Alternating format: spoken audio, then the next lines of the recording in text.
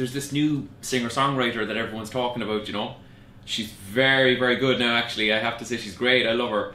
So I'm just trying to keep her grounded. So I've just popped a little comment under her new album release tweet. What did you say? Uh, attention whore. So hopefully now that'll just keep her nice in. Are you okay, Roy? She's just replied, Get a life, loser troll. But I was just trying to. Ah, this'll get us back on track. My friend's son has just posted a picture of himself on a soup run. Ah, this guy now is about, I don't know, 15? 16?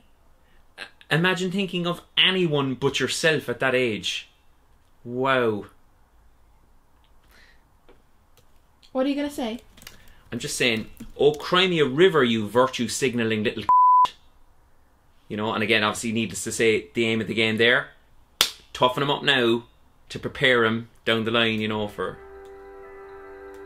Are you okay, Roy? He's just blocked me.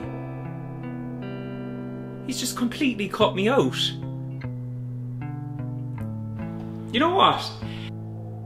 I'm just gonna try one more. This is perfect. A video called Funny Baby Angry Dog. Brilliant. this family are having the best day of their lives. I think I'll just ground them. I'm just writing ugly baby, stupid fat granddad die. That doesn't really make any sense. Are you referencing the video title? Yeah, And die? That's a bit. is it? ah, they'll probably understand that I was just trying to. What is it? We know your location, sent to the cops. Best wishes, stupid fat granddad.